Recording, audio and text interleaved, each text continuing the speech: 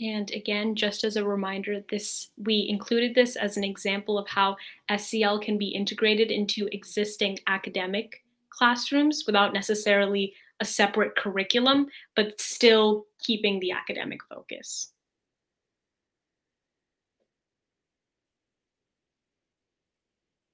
I think I'm seeing some thumbs up.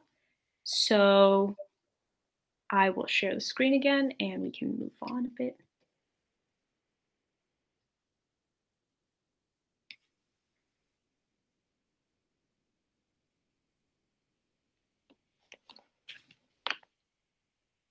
So just as a summary, again, here, uh, as you know, in To Kill a Mockingbird, and Alexandra Hancock is considered a villain by our narrator, Scout Finch, because she forces traditional ideals of femininity on her. And in this paper, we analyzed why Hancock's ideas of femininity differ so deeply from Scout's, and considered factors such as Hancock's age, her commitment to her family, and her exposure to tr to traditional Southern values when forming this analysis.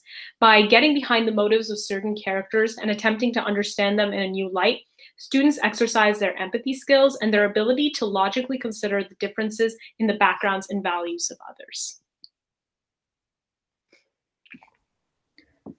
So we've also come up with some topics specifically related to emotional intelligence, which we're looking for in a curriculum. Uh, if we go down the next slide. These things could also be implemented as a unit in health class. Uh, these topics focus very heavily on communication between students, since one way or another, a student will find themselves in a position where someone has reached out to them for help. Of course, we are in no way claiming to be experts, so these are just some ideas of what we believe would be important in such lessons from our perspective. So we effectively separate this lesson into targeting two perspectives, the supporter and the person reaching out for help. Although people with serious issues need to be directed to professional help, it's inevitable that a student will find themselves in a situation where a friend has come to them with mental health concerns. These students need to be taught how to show the necessary type of compassion and just what to say to someone. Some things we believe should be targeted in this lesson are generally how to provide support, asking questions about what the person reaching out needs at the moment, and recognizing signs of suicide.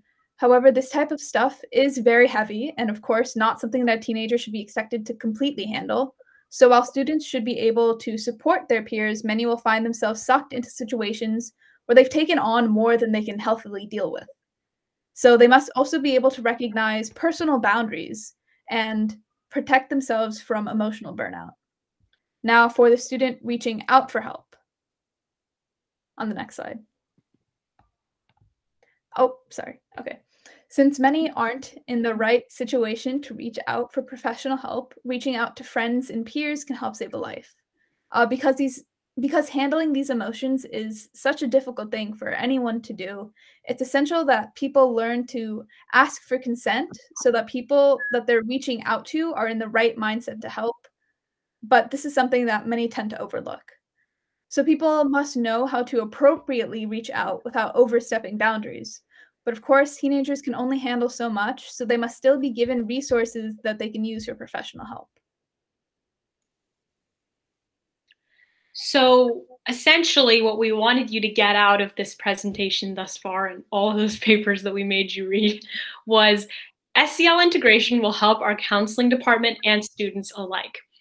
SEL will be playing a dual role of encouraging personal growth in all students by equipping them with the necessary tools to deal with commonplace mental health issues and correspondingly freeing up counselors so that they can work more closely with students who are truly unable to handle serious health problems.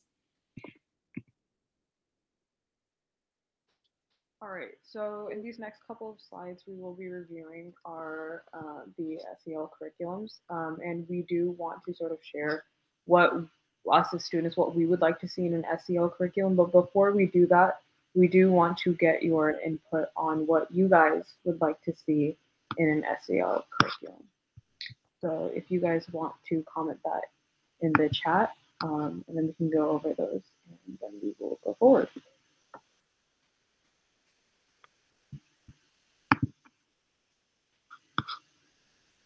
And examples of these would, for example, be uh, identifying internal emotions or conflict management or cyberbullying or other matters like that.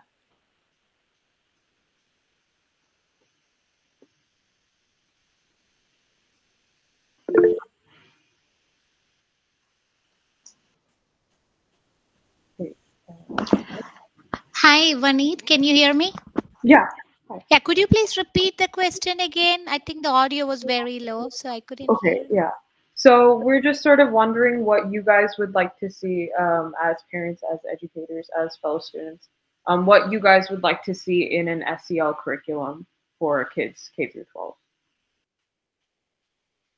So anything like ranging from um, cyberbullying, depression, um, anything like that. Yeah. Uh, yes. Hi. Um, I would like to see topics on relating to peer pressure, maybe in the younger age, mm-hmm. perhaps elementary school. And I'll just be typing these in the chat so we can keep a record of what we've said so far. Yeah. Thank you.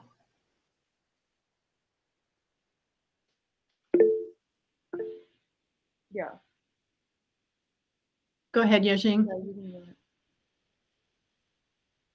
I think your microphone might be on mute. what did I do? Okay, good. So I have a question on the background. So the SEL is provided to all level of students. So are we trying to do a trial uh, class uh, for for let's say American high school or what is the goal here?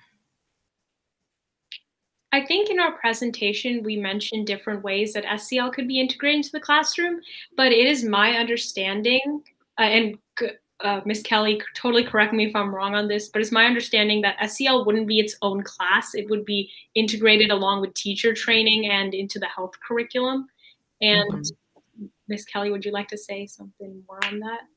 Yeah, you're you're absolutely right, and I um, the SEL curriculum that we're in the process of adopting would be um, something that teachers would present to students at some sort of a regular interval. And we're still early enough in the adoption process that I don't know how often that would be and exactly what that would look like. But it would be specific direct instruction around things like uh, recognizing your own emotions, responding to your own emotions, supporting peers, um, dealing with stress, all, all of those kinds of things.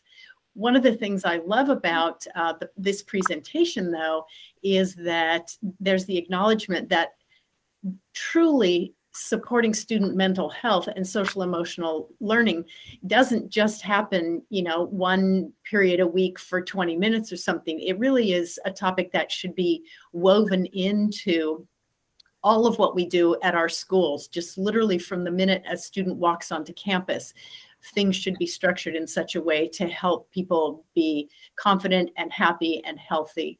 And so I love how you guys have talked about integrating it into everyday topics as well. Okay, thank you for for the. Well, I was late in joining the meeting, and uh, so so right now that uh, we are asking Mrs. Kelly, we're asking the students to give uh, the feedback and also ask them to write papers, right? So we are taking their pre presentation as part of the research. Is that uh, is that we are seeing today? Um, the reason that the uh, students are here is that they had done um, an extensive survey last year. And then from the results that they saw of that, they, they became really solution oriented and said, okay, well, if students are having these challenges, what uh, might we be able to do as a system to help with that? And they mm-hmm. put together this presentation and then approached me and said, would it be okay if we presented it? And I really liked it, and I thought the C&I Advisory Committee was the right group of people to hear it. So that's what they're here doing is presenting the results of their survey and then also their suggestions. Okay. Yeah, and also to add on to that, I do believe that we have an allotted time for questions and concerns and other stuff like that after the presentation. And I feel like what we're, we're going to say in the upcoming slides might be an answer to a lot of your questions as well. So okay. would it be okay if we moved on? Absolutely. Thank you. Thank you. Let me share this again. And Vinny, you can take it from here.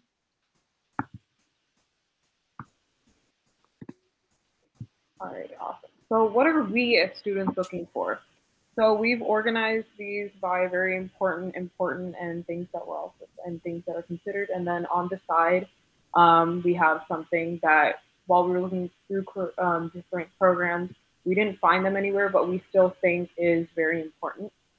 So um, we want, we definitely want diversity, inclusion, and cultural awareness, considering that majority of the population, um, among students at least, in FUSD, they all come from different cultural backgrounds. So this is definitely very important. Anger, anxiety, depression management. I think this is a, definitely a huge one. Um, personally, I have been going to therapy and it's been helping me a lot. And I know that a lot of my peers, they don't have the same access to that, but they are going through similar things that I am. So I think this could help a lot. Um, emotional awareness, crisis management, and perspective analysis, sort of so self introspection. Um, for important, we have digital online awareness. Again, this is becoming very important, seeing that technology is becoming a huge part of our day to day lives. Um, identifying and conveying emotions, also identifying bullying and harassment, and battling absenteeism and crime. Um, also on the side, we have modernized sexual assault harassment education. It's something that we find really, really important, I think, um, as we go on. But it's not something that we found in any of the reviewed curriculums. So yeah. Okay, sort of kick it off here. The first curriculum that we looked into was positive action. It's available from grades K through 12, and it's also available in Spanish from K through 8. We found that it was mostly focused on individual improvement of mental health through self reinforcement. And this well serves the SEL goal of managing emotions, and it has been proven to be especially applicable in stopping crime on campus. It places a very high emphasis on conflict resolution, which may serve as a good seg into diversity and inclusion curriculums. But while it does offer ways for educators to integrate diversity and inclusion into their curriculum, it is not there as a topic explicitly in and of itself. It has also been had proven significant outcomes with crime prevention, absenteeism, and substance abuse among its uh, the older students that were subject to it. And lessons combine activities, texts, and presentations in lesson plans, which serves to make a much more engaging classroom. We also reviewed Second Step, which is available for on the elementary and middle school levels, though not on the high school level. We found that this was mostly focused on child protection and bullying prevention rather than internal healthy habits, which definitely is an, a part of the SEL goals, but we did find that it was lacking in other areas that we thought were very important factors to consider when adopting an SEL curriculum.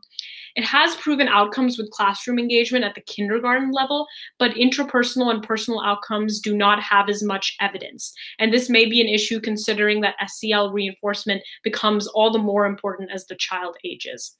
It provides SEL education for educators as well, so as to foster the curriculum in all aspects of the classroom. But it also tends to focus on more formulaic videos and lesson plans as a method of distributing information, which we felt might not be engaging, especially for younger children. So if we were to adopt this curriculum, it would need um, some remodeling when it's being actively integrated into the classroom. So next for Harmony, it's a free kindergarten through sixth grade curriculum, which is already being implemented across school districts. And it has on-demand and live training for teachers, which we find important, since teachers should also be able to access this type of stuff. Uh, we have been able to access sample lessons and a toolkit, and we found that the lessons took into account learning shifts in the pandemic focus on emotional intelligence, and have information on identifying and conveying emotions. This also includes lessons based around learning socioeconomic and cultural differences that impact the classroom. We find this last part extremely important, as we said before, because at least through our experiences, we didn't learn much about this in the classroom until high school. Harmony, however, addresses these topics at a much earlier age, which is essential to developing greater empathy in children. So, next slide and Lions Quest. Lions Quest has curriculums for kindergarten through 12th grade, which is heavily focused on conveying and identifying emotions, but it seems to progress a little bit slowly with 12th graders learning very similar lessons on anger management and other emotions as middle schoolers. Which is not to say that this isn't important because it is, but it feels almost overemphasized. There was also a large portion about bullying harassment, which is important, but given that we have numerous lessons and presentations on bullying pretty much every year, it's not at the forefront of our concerns for an SEL curriculum. There also wasn't much on socioeconomic and cultural differences, but again, we couldn't access all of the lessons, only the ones that were uh, available to the public. And what we could see is that there is a unit centered around leadership and community, so that unit may have the potential to cover those bases. All right, so the team the Team Connection project promotes SEL through lessons, classroom management, relationship building, and student voice, as well as a lot of heavy emphasis on behavior management. Schools that use the Team Connection project reported change within students after 12 weeks of implementation. However, there is unfortunately not a lot of emphasis on cultural disparities or equity, which is something that the district needs considering as I said before, majority of students come from very different cultural backgrounds. Next slide. Um, so BASE education, the programs provided by BASE start as young as kindergarten. From kindergarten to grade five, students will learn how to manage their emotions and communicate them well. They will also learn digital safety, which, as we all know, as I said earlier, is incredibly crucial nowadays, knowing that technology has become a huge part of our day-to-day lives. As, as children get older, from grades 6 through 12, students will learn more in depth for how to manage emotions, specifically anger, anxiety, and depression. They'll also learn how to make smart decisions and how to avoid exploitation.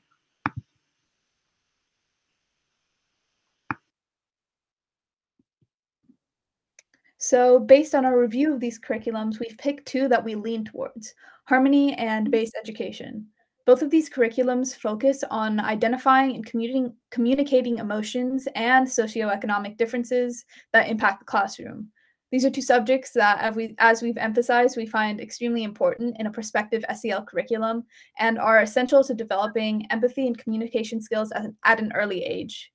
They both also have lessons based around addressing shifts in learning after the pandemic.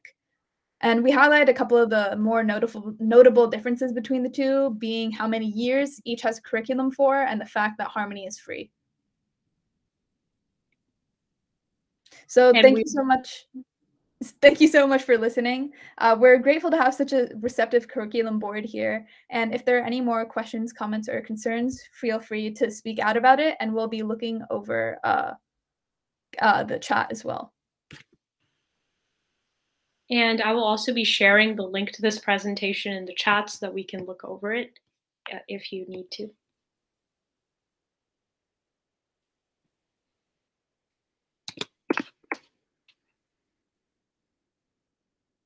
I don't, did it go through? Yeah. It's not in the chat yet though. Oh. Uh, does everyone see it now? Yes, it's in the chat.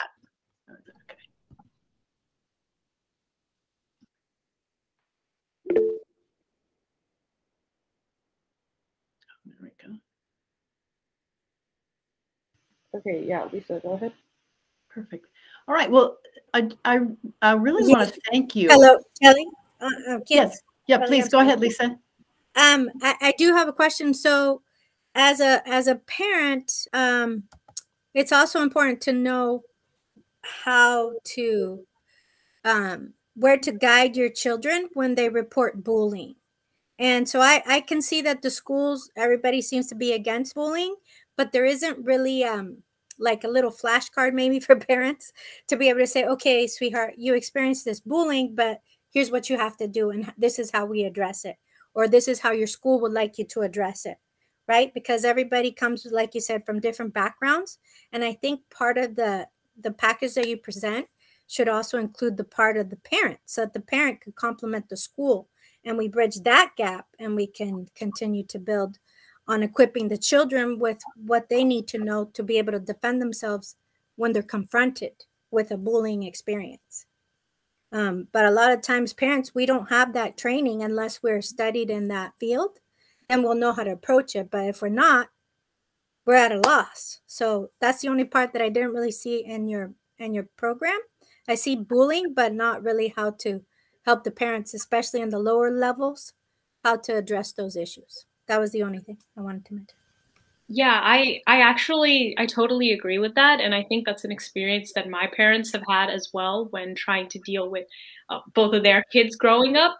Um, I do think it would be super great if the school could provide SEL resources for parents as well, and I'm I'm definitely noting that down. Uh, that would be very helpful if they could send like yearly or even quarterly pamphlets to keep the parents updated. Thank, Thank you. you. Great. Thank you, Lisa. Thank you.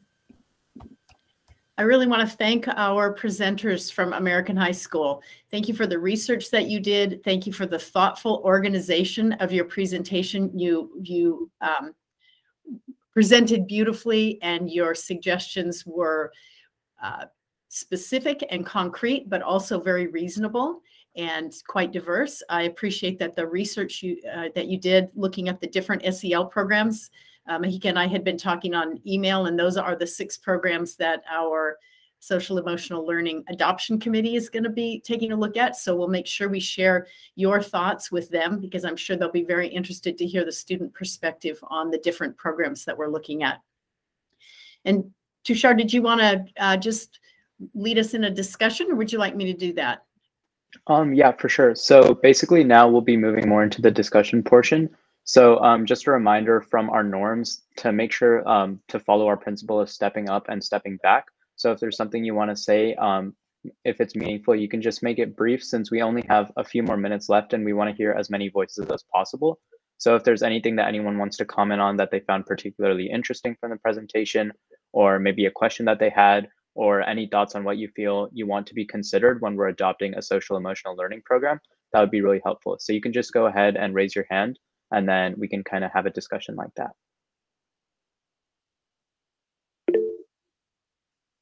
Um, yeah, Arati?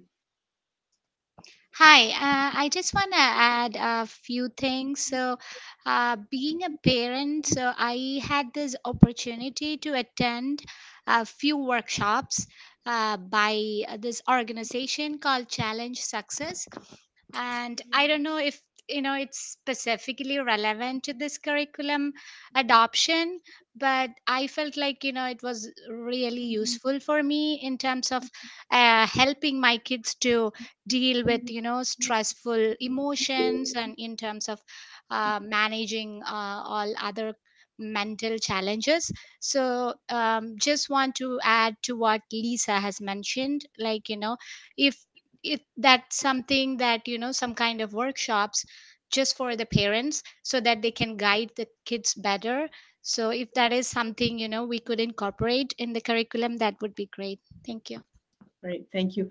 Megan i don't want to put you on the spot. Is there anything that you would want to say about challenge success isn't that the is that the survey that your um, students took? So we we actually just gave this survey um, a couple of weeks ago at American, um, as did uh, a couple of the other high schools, and we'll be getting the results of that from in just a few weeks, um, which is going to help us to um, to plan and move forward and, and really to inform um, how we support students and um, communicate with families as we move forward. So um, we're excited to see that. And um, yes, we felt the same about Challenge Success, that it was the right move for us to, to get the information from students that will help us better support them.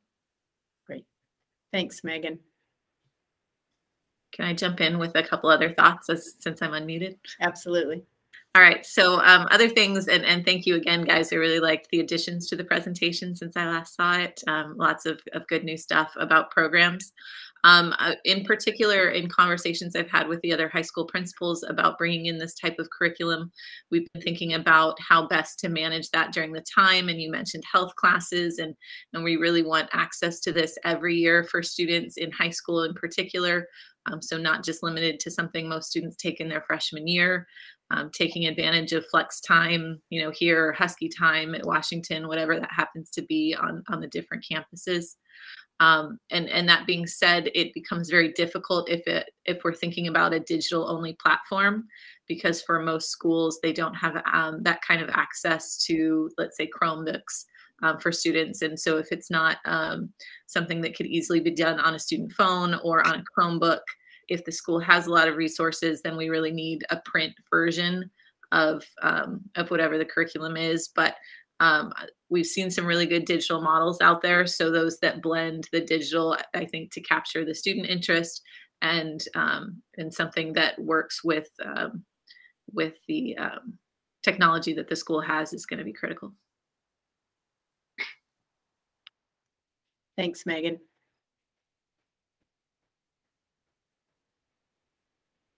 Shilpa, I see your, your hand is raised. Did you want to make a comment? Yeah, thank you. Thank you guys. I really, I absolutely love the data and all the level of details you had in there.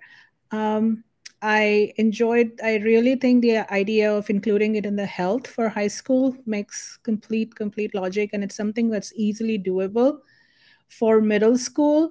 Um, just because I am working in a middle school right now, I think um, the curriculum, yes, integration would work, but if it can somehow become a part of the PE, I think that will be easier. The the content and the academics are so stressed out right now. I don't know if there'll be way to like sort of feed more into it.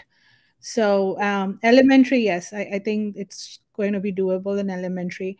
Uh, piggybacking on what Arthi and Lisa said, um, and this is coming from a parent perspective, not as a paraeducator, but uh, Fremont in particular is, you know, has the blessing of having so many different diverse backgrounds. But with that also comes challenges because when parents come from a different country, uh, you know, they have certain goals and visions of their own, which fortunately or unfortunately get transferred to their kids too. So when there is success, we blow our trumpet and announce it. But when we have a difficult challenge, we don't talk about it. So um, I think parent education, if not more, is equally important as the student education in this. So it's, you know, it's almost like a 50-50 or even, I think the students are very well aware and they're more forgiving of themselves and their peers. But parents become very hard on themselves. They take it personally and so educating the parent becomes more important than educating the child at that point. Sorry about that. But uh, so I think having parent education, whether it's through your PTSAs or teachers or flyers, is going to be equally important. Yeah, if I could. Oh, Sorry, Mika, you want to go ahead? Yeah, I was just wondering. Uh, that this is actually something that we've been considering for a while now, but I guess since we haven't had the opportunity to interact with many parents personally, we were wondering how would you, as parents, be uh, engaged, or how would you like to see it come, like in specific methods from the school? Would it be like in workshops or pamphlets, or? I don't know if I'm the right parent to say that because in the Indian community that I live in, um, I'm the black sheep because I'm always telling parents you're stressing for no reason. There are bigger problems coming ahead. So, uh, but I think um, what would work is just constant communication. And even if that is something as basic as, uh, you know, a link to like this presentation, like if, if you can do a presentation like you just did for us and just recorded it and sent it out to everybody and said that, hey, you know, this is a presentation done by American high students. And it could even just start with American and then the word moves forward. Um, your parents are probably on at least two or three different WhatsApp groups.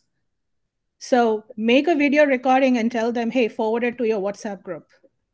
And then that WhatsApp group will forward it to the other. So use your viral marketing, get on your Facebook lives, and I think that would be the easiest way to kind of spread the word. And honestly, all you really need is 10 or 15 parents in every school. You don't need like 50 or 100 parents. You change 10 mindsets, you'll change, start changing the mindset of that school. Great.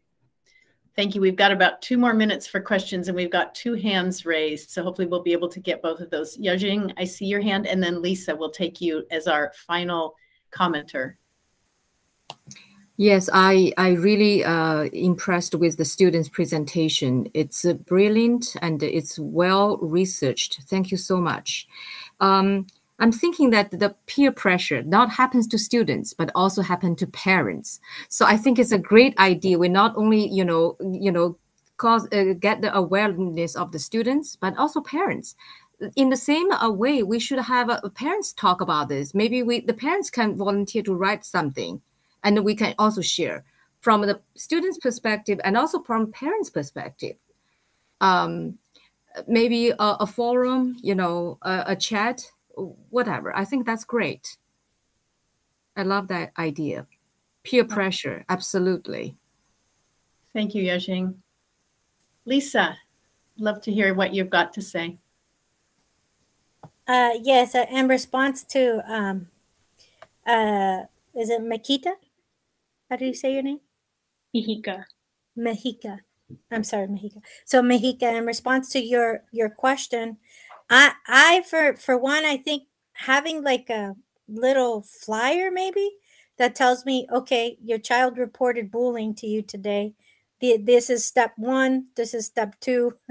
This is how you approach it. If that doesn't resolve the issue, this is the next level, and this is where you need to go. You know what I mean? Like, I think that would be more beneficial. you know, and then maybe stating to notify the uh, counselor as soon as something gets reported at the house so that then they can do whatever research needs to be done depending on the level of bullying um, so it can be approached in a in a timely manner and pro- appropriately right because the other side of it is that the bully might just be a child that doesn't know how to read uh, is having problems in a, in a subject and might have insecurities that's causing the child to act out in that manner and they may not know how to emotionally describe what they're experiencing. So they too need support. So everybody gets that support needed at the right time. Thank you. Great. Thank you, Lisa. Thank you all again very much for your presentation. It was interesting, it was informative, and I know that we could talk for uh, much longer if we had a longer meeting. Uh, so thank you to all of our students for coming tonight and, and presenting this information. You guys are, of course, welcome to hang out for the rest of the meeting. There's just a few minutes left. It's just going to be committee business. Or you are welcome to um, sign off and go about enjoying your evening, doing your homework, maybe getting a little bit of dinner. Who knows? So thank you so much for coming and joining us tonight. I appreciate it. Thank you so much for having us. Tushar, I, I think I need to do a little bit of business here because mm-hmm. I didn't start the recording when I was supposed to. So I'm concerned that the votes that we took earlier that should have been recorded in the chat may not have been. And so what I'm going to do is I'm going to ask people to just go back and um, do a couple things in the chat, if you don't mind. So first for that special determination meeting,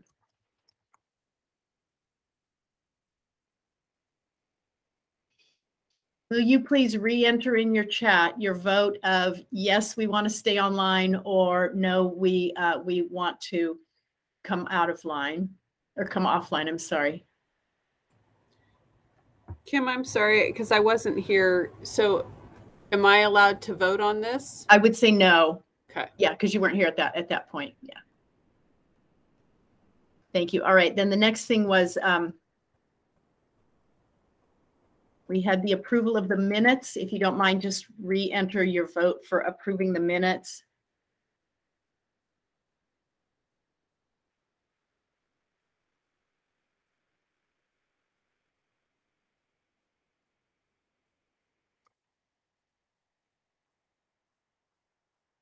And then um, strangely enough, if you don't mind just typing presence, present so uh, we have a, re a, record of who was here in the meeting, and everyone could do that regardless of whether you joined us partway into the meeting or whatever. So go ahead and just type present into the chat.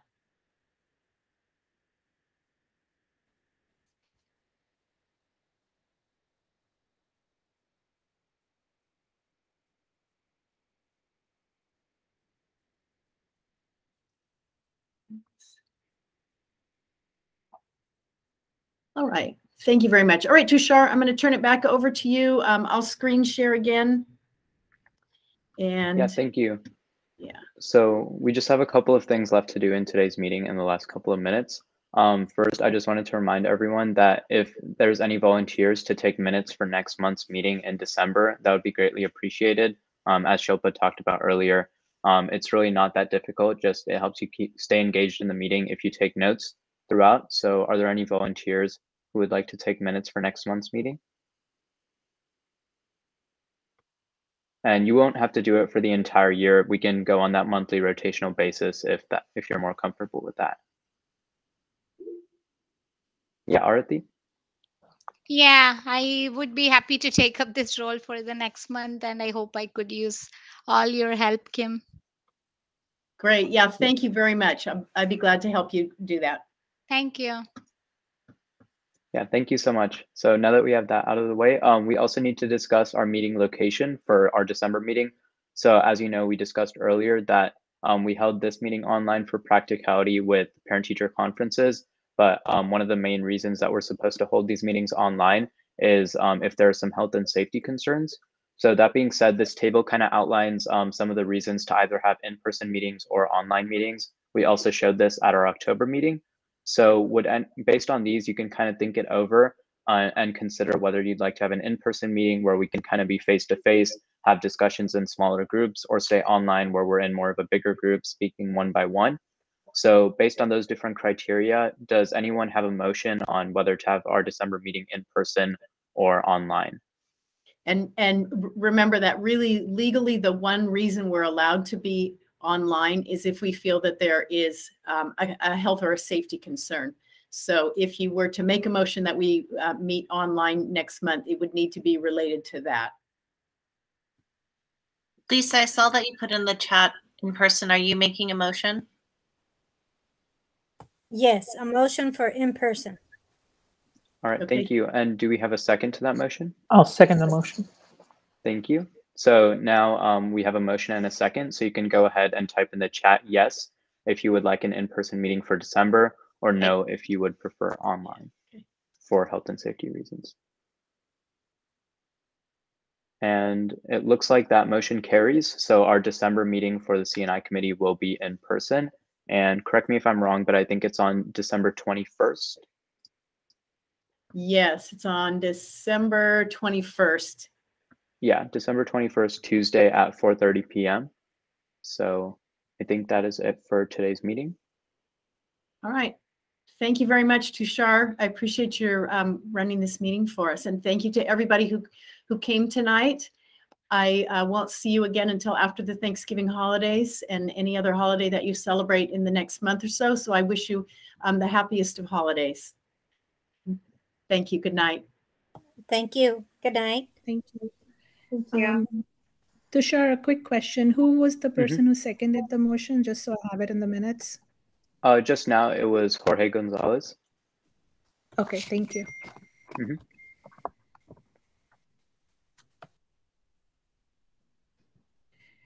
Thank you, guys. Signing off. Yeah, thank you for